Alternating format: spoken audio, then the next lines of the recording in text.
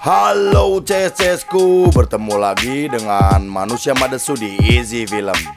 Baiklah, berikut ini gua akan meringkas kisah hidup vokalis black metal asal Norwegia bernama Gal.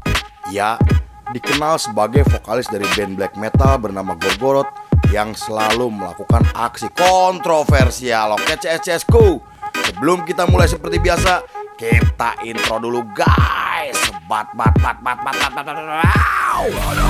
Kita mencari manusia Membotakkan mata Mengosongkan jiwa Saya kesunyian. Tak lagi kau dengar Inilah saatnya Kau melihatnya. Ikutlah bersamaku Berjalan bersamaku. Dengan yang membara Dengan asap bermakna. Marilah harapan Jadi kenyataan. Marilah harapan Jadi kenyataan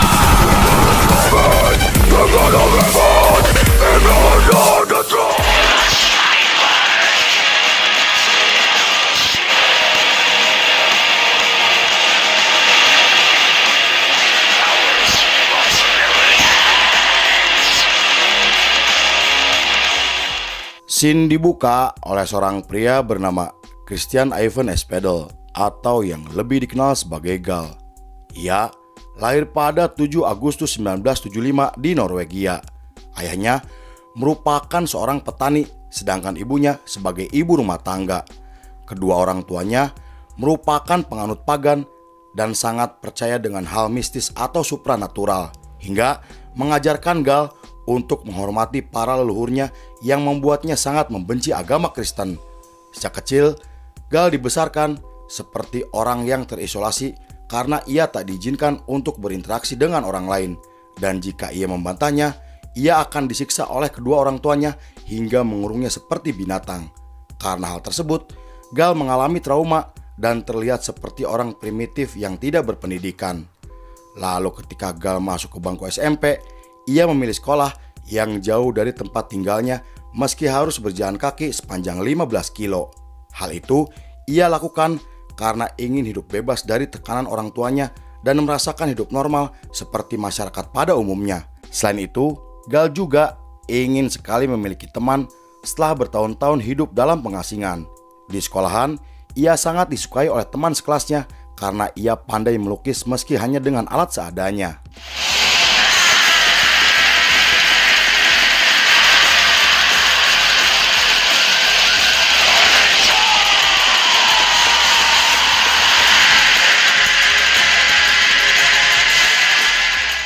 Kemudian, setelah ia masuk ke bangku SMA, Gal mulai menyukai musik yang membuatnya menemukan jati dirinya. Selain itu, ia mulai tertarik dengan musik black metal ketika teman sekelasnya memberikan kaset dari band-band metal terkenal seperti Venom, Bathory, Mayhem, dan masih banyak lagi. Bahkan, Gal semakin mendalami arti di balik lagu black metal yang ia gambarkan sebagai masa kelamnya yang pernah ia alami selama bertahun-tahun. Tak hanya itu, ia juga memutuskan menjadi penganut satanisme karena ia tidak percaya dengan adanya Tuhan. Pada tahun 90-an, Gal memilih keluar dari rumahnya dan mulai menghadiri acara musik komunitas. Ia juga tergabung dalam skena black metal di Norwegia yang saat itu telah menjadi skena black metal paling terkenal di Eropa. Di periode tersebut, Gal tinggal di rumah tua yang sudah terbengkalai dan menjadi pelukis jalanan untuk membiayai kehidupan sehari-harinya. Meski harus hidup dalam kondisi yang serba kekurangan, namun ia sangat menikmati hidupnya karena ia tidak lagi memiliki tekanan dari kedua orang tuanya. Beberapa bulan kemudian, ia mulai terlibat dalam aksi pembakaran gereja dan melakukan ritual persembahan kepada iblis. Lalu karena sikapnya yang dianggap aneh dan berani, Gal mulai dikenal oleh banyak orang hingga menjadi sosok yang cukup disegani di skena black metal Norwegia.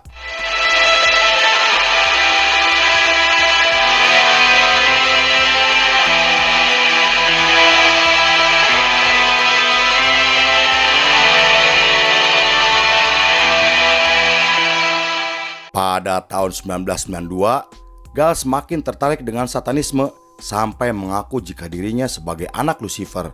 Selain itu, ia sangat membenci ajaran agama Kristen karena menurutnya jika kaum Kristen telah membantai para leluhurnya di Skandinavia. Beberapa hari kemudian, ketika Gal akan menuju tempat tinggalnya, ia menculik seorang pendeta untuk disiksa dan akan disembahkan kepada iblis. Namun pendeta tersebut berhasil meloloskan diri walaupun sang pendeta harus mengalami luka serius setelah ditikam sebanyak lima kali. Karena kejadian tersebut, Gal kemudian ditangkap dan dipenjara selama lima bulan atas tuduhan penyerangan dan percobaan pembunuhan. Tetapi karena kejadian tersebut, namanya semakin dikenal oleh banyak orang hingga mulai menjalin pertemanan dengan beberapa orang berpengaruh di skena black metal Norwegia seperti Euronymous, Semot, dan Abad. Beberapa bulan kemudian, ketika Gal sedang nongkrong bersama teman-temannya, ia ditemui oleh Fagbikernes untuk mengajaknya melakukan aksi pembakaran gereja.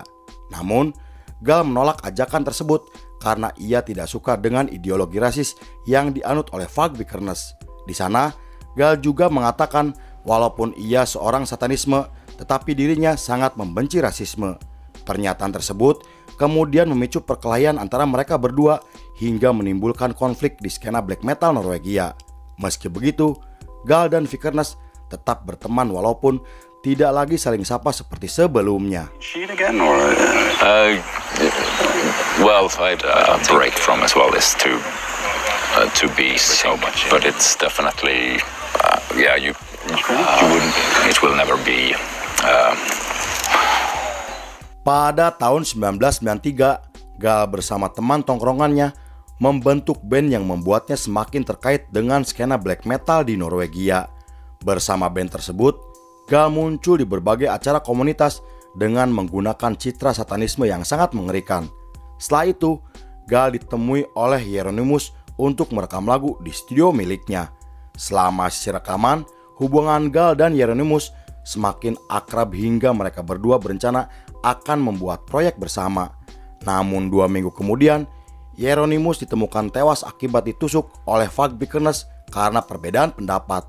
Kematian Hieronymus menjadi berita besar sampai menggemparkan skena black metal di dunia. Mendengar hal itu, Gal menyimpan dendam kepada Vikernes karena sudah tega menghabisi nyawa temannya sendiri. Lalu setelah kematian Hieronymus, skena black metal di Norwegia mulai diawasi oleh polisi hingga beberapa acara musik metal di Oslo sering dibubarkan oleh kepolisian. Lalu akibat dari penusukan tersebut, Vikernes akhirnya ditangkap dengan berbagai tuduhan termasuk pembunuhan, kepemilikan senjata api, kepemilikan dinamit dengan jumlah yang sangat besar. Platelansering i Norge, og for 20-åringen som er siktet for kirkebrannen i Bergen. Det- Det var kun Pierre på plata der? Ja, selvfølgelig. Det har jo klart avhørt. Og å kunne forklare at dette var bare blast om musikken. Men foreløpig så angrer du ingenting. Angrer, hva skulle angre? Pada tahun 1994, eksistensi black metal di Norwegia mulai menurun setelah banyak anggotanya ditangkap atas berbagai tuduhan. Saat itu, Gal yang ingin membangkitkan kembali skena black metal di Norwegia, kemudian bersama bandnya merilis demo namun dianggap gagal. Meski begitu, mereka tidak pantang menyerah dan melakukan pertunjukan di berbagai negara seperti Swedia, Belgia, dan Perancis. Hal itu disebabkan karena festival musik metal di Norwegia selalu dibubarkan oleh masyarakat dan pihak kepolisian. Pada tahun 1995, mereka merilis album pertamanya dengan menampilkan drummer barunya. Mereka juga menggelar tur lima kota di Swedia dan Belgia yang membuat nama Gal semakin terkenal di skena metal Eropa. Lalu saat Gal diwawancara tentang aksi pembakaran gereja, ia mengatakan jika dirinya juga terlibat dalam aksi tersebut. Karena menurutnya, pembakaran gereja merupakan bentuk ekspresi atas kebiadaban umat Kristen yang telah membantai masyarakat Skandinavia di masa lalunya. Namun masyarakat saat itu telah menyalahartikan aksi tersebut dan menganggap jika komunitas black metal berisi orang-orang yang anti terhadap agama.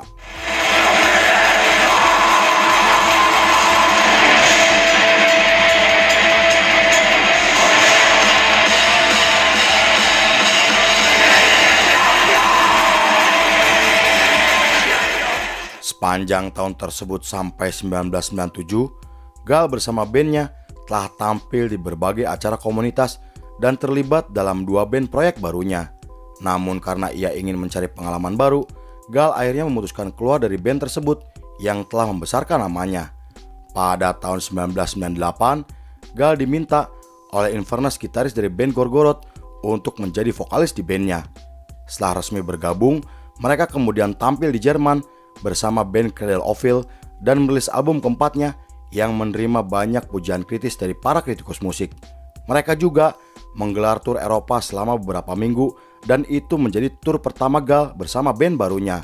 Tak lama setelah itu, Gorgoroth bergabung dengan label besar asal Jerman yang membuat mereka dibenci oleh komunitas black metal di dunia karena dianggap telah menjual nama black metal untuk kepentingan pribadinya. Meski begitu, Gal dan kawan-kawannya tidak peduli dengan statement tersebut karena menurut Gal bersikap idealis tidak akan membuat perut kenyang apalagi bisa menjadi terkenal. Ia juga menambahkan bahwa dirinya tidak peduli dibenci banyak orang karena hal tersebut yang ia harapkan. Pada tahun 1999, Gorgoroth merilis album barunya yang berhasil sukses secara komersial. Menurut kritikus musik, album terbarunya terdengar kelam karena menampilkan suara Gal yang memiliki karakter sendiri. Selain itu, lagu-lagu mereka juga dianggap memiliki unsur kegelapan dan cocok dengan karakter Gal yang sangat mengerikan. Lalu dengan keberhasilan yang telah mereka dapatkan, Gal kemudian menjadi sosok yang dikagumi banyak orang meski sering melakukan tindakan kontroversial.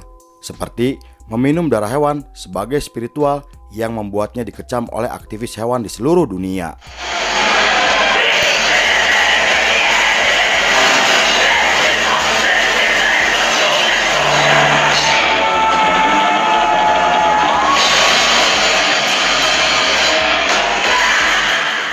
Pada tahun 2001, Gorgoroth bersama beberapa band lainnya menggelar tur Amerika untuk pertama kalinya.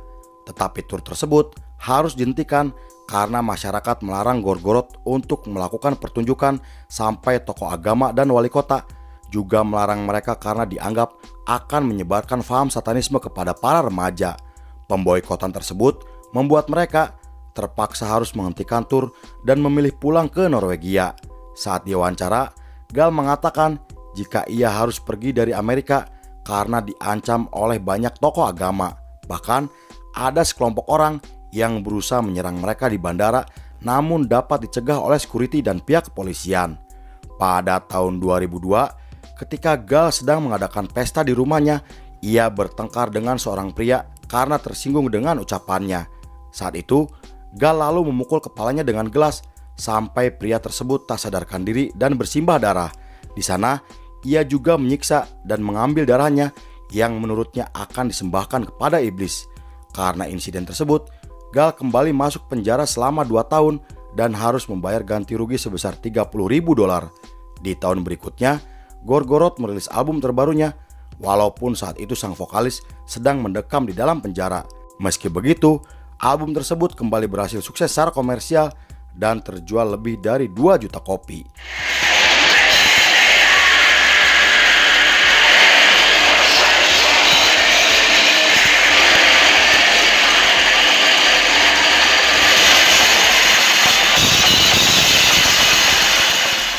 Pada tahun 2004, setelah Gal mendapatkan pembebasan bersyarat, mereka tampil di Polandia yang dianggap sangat kontroversial. Pasalnya, mereka menampilkan kepala domba yang ditusuk dengan simbol setan dan ritual penyaliban yang dilakukan oleh model telanjang dengan darah bercucuran. Acara tersebut kemudian dibubarkan oleh kepolisian karena dianggap telah menghina agama yang dapat dituntut berdasarkan hukum Polandia. Selain itu, mereka juga mendapatkan kecaman dari para aktivis hewan karena telah melakukan kekejaman terhadap binatang. Walaupun saat itu mereka tidak dipenjara, tetapi mereka harus membayar denda dan dilarang masuk ke Polandia selama lima tahun. Karena insiden tersebut, mereka dikeluarkan dari label asal Jerman karena dianggap akan merugikan pihak perusahaan. Pada tahun 2005, Gal muncul dalam film dokumenter yang membahas tentang pembakaran gereja di skena black metal Norwegia dalam film tersebut, ia mengatakan jika dirinya mendukung 100% pembakaran gereja karena ia juga terlibat di dalamnya. Ia juga menambahkan akan terjadi kembali pembakaran yang lebih besar untuk menghilangkan jejak agama Kristen dan menyebarkan faham satanisme ke seluruh dunia. Tak hanya itu, Gal juga menganggap dirinya sebagai Tuhan untuk dirinya sendiri dan menjadi setan untuk dirinya sendiri. Pernyataan tersebut membuat banyak orang marah sampai Gal menerima banyak ancaman pembunuhan. Tetapi saat itu, Gal memilih tetap santai karena menurutnya jika kematian merupakan sebuah takdir yang tidak bisa dihindari. Di tahun berikutnya, setelah bandnya merekam lagu untuk album terbarunya, ia kembali ditangkap karena menyerang seorang gelandangan yang tidak bersalah. Ia kembali masuk penjara selama lima bulan, namun kembali dibebaskan setelah membayar uang jaminan.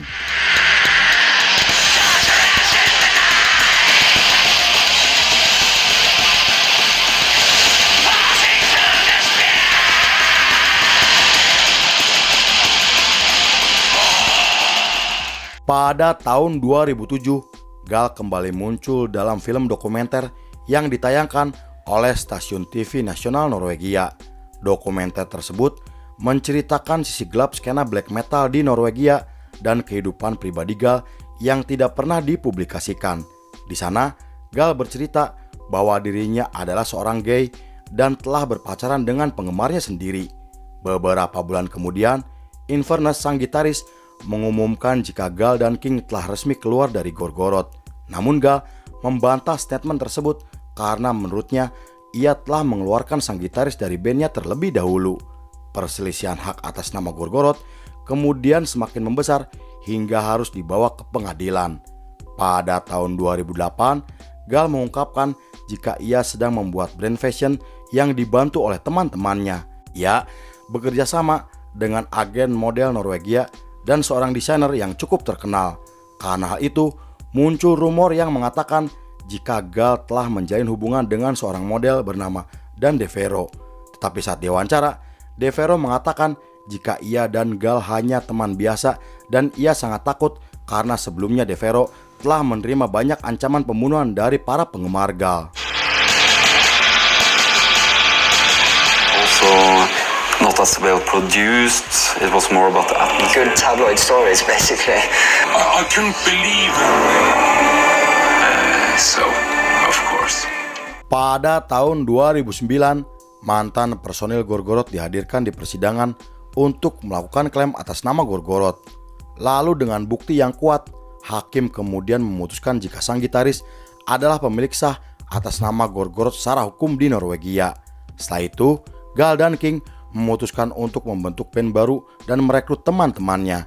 Bersama band barunya, Gal kemudian muncul di festival musik besar yang dihadiri oleh lebih dari 50.000 penonton dan merilis materi baru untuk album pertamanya.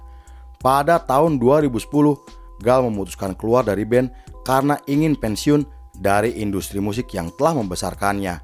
Ia kemudian muncul dalam pertunjukan teater yang berperan menjadi karakter Putra Odin. Namun setelah pertunjukan selesai, masyarakat meminta kepada pihak teater untuk tidak mengundang Gal karena citranya sebagai anti-Kristen dan telah mendukung aksi pembakaran gereja. Sepanjang periode tersebut, sampai 2014, Gal telah berkembang menjadi seorang aktor dan menjadi pelukis yang cukup terkenal.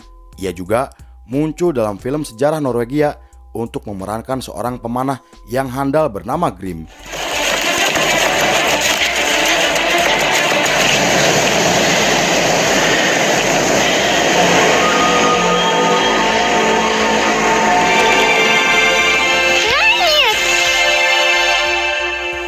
Pada tahun 2015, Gal mendirikan band barunya dan tampil di acara festival musik yang digelar di Norwegia. Setelah itu, ia menggelar pameran lukisan miliknya yang dihadiri oleh para kolektor seni dari Eropa. Saat diwawancara, ia mengatakan jika saat itu dirinya sedang menikmati hidup yang ia inginkan. Terlepas dari stigma buruk yang telah ia dapatkan, namun Gal dianggap memiliki hati yang lembut seperti sering menyumbangkan uang pribadinya ke badan amal, panti asuhan, dan organisasi kemanusiaan. Lalu film pun, lalu film pun, lalu film pun selesai, say, say,